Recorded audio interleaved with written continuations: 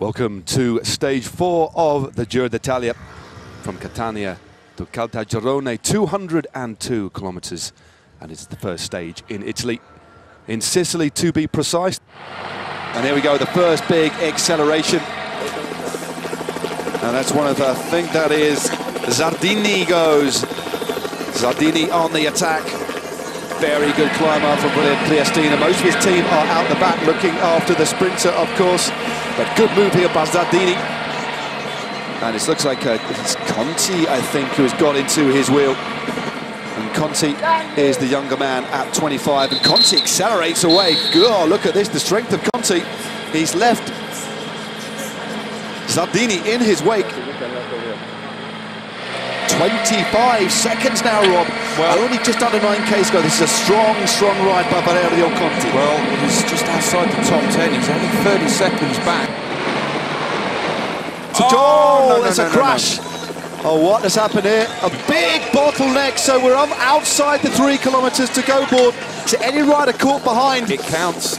If this counts. 20 seconds for Conti, but more importantly, who is going to be caught behind this? That looks like it's uh, that's uh, Andrey Zeits. Let's have a look at this again. How far down? It's right in. Oh, it's right up it's the right front. in the front. Right so a couple of riders got through on the inside, but numerous riders, Rob, are going to be caught behind here.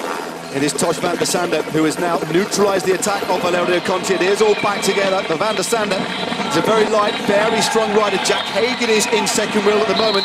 Get very close to the motorway. It is a Yates in third wheel at the moment. Looks like oof, that was it. One rider's gone down. It's Max Schachmann who has crashed.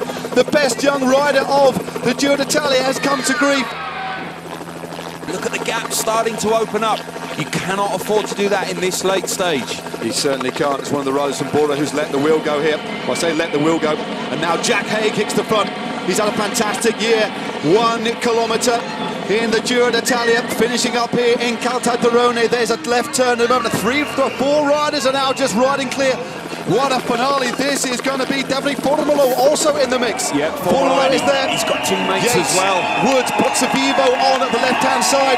This is the last few hundred metres now. Tim Wellens in the centre of your screen. Also in the pink there is Woods. Pozzovivo now goes on the right-hand side. Bouwman, I think it is, in the centre of your screen. Rohan Dennis in the pink jersey is there. But Rohan Dennis is also there. I think this is Bouwman accelerating. This is a fantastic ride. Wellens is in the slipstream now. Wellens goes. Tim Wellens starts to open things up.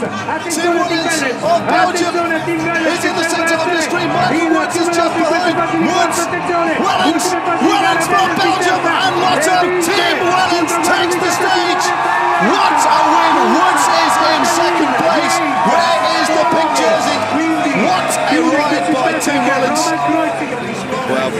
ride there by the rider from Froome looks like he's gone down actually. I wonder if he got held up in that crash. He certainly conceded several seconds there at the very least.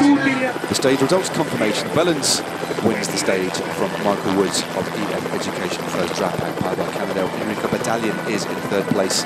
Simon Yates took fourth in the same time as Wellens. Unchanged at the top, Dennis still leads the Giro d'Italia. Tom Dumoulin in a second position at one second. Simon Yates moves up to third place. Tim Wellens, with that win, catapults himself up the classification into fourth at 19. Pello Bilbao still solid in fifth. Quite remarkably, Max Schachmann moves up the classification despite crashing with three kilometres to go.